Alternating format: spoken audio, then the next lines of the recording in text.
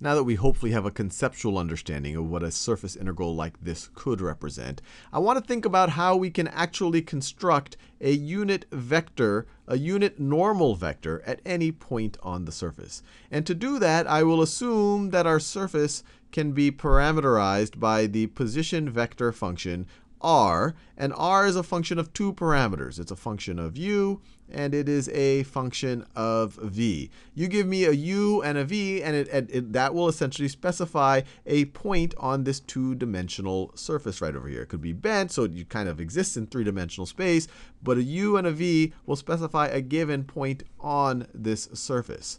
Now, let's think about what the directions of r, the partial of r with respect to the partial of r with respect to u looks like, and what the direction of the partial of r, the partial of r with respect to v looks like.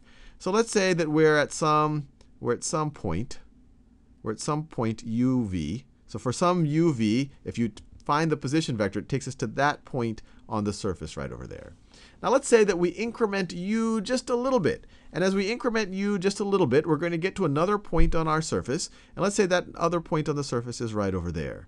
So what would our what would this r sub u vector look like? Well, its magnitude is essentially going to be dependent on how fast it's happening, how fast we're moving towards that point, but its direction is going to be in that direction. It's going to be towards that point. It's going to be along the surface. We're going from one point of the surface to another. It's essentially going to be tangent to the surface at that point. And I could draw a little bit bigger. It would look something like that.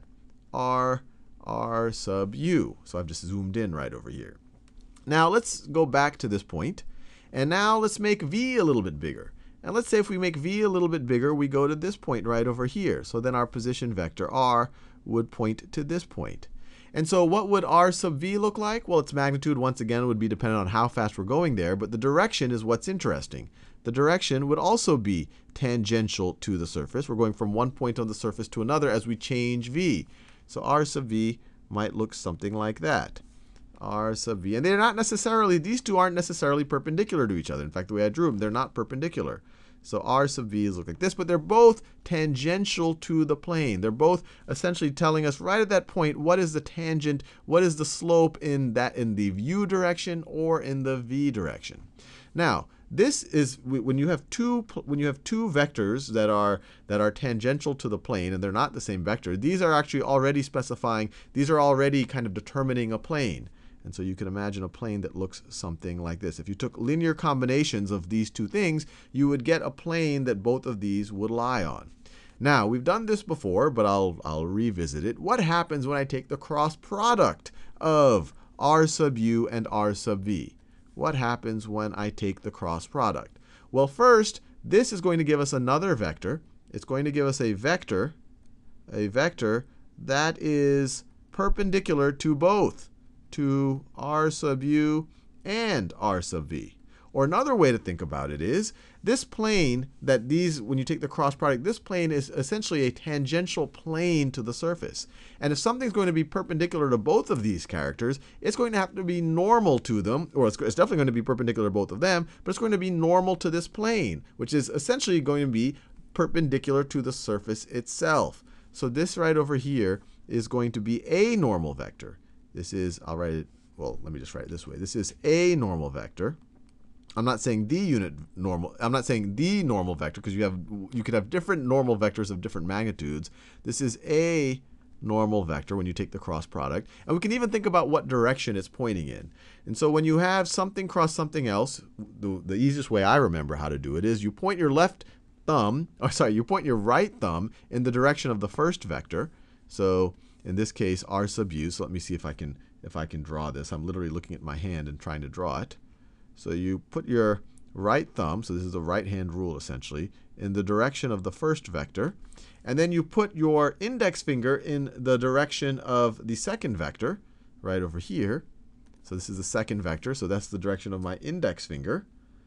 So my index finger is going to look something like that. And then you bend you bend your middle finger inward, and that'll tell you the direction of the cross product.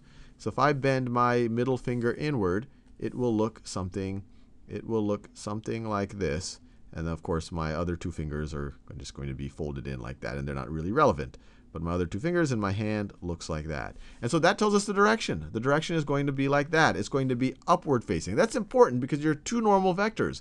The one could, or there's two directions of normalcy, I guess you could say. One is going out like that, outwards, or I guess to, in the upward direction, one would be going downwards, or going, I guess you could say, into the surface. But the way I've set it up right now, this would be going outwards. It would be a, it would be a normal vector to the surface. Now, in order to go from a normal vector to a, to the unit normal vector, we just have to normalize this. We just have to divide this by its magnitude. So now we have our drum roll, the unit vector, and it's going to essentially be, it's going to be a function of u, it's going to be a function of u and v. You give me a u or a v, and I'll give you a, that unit normal vector. It is going to be equal to the partial of r, the partial of r with respect to u, crossed with the partial of r with respect to v. That just now, that gives us a normal vector, but it hasn't been normalized. So we want to divide by the magnitude. We want to divide by the magnitude of the exact same thing.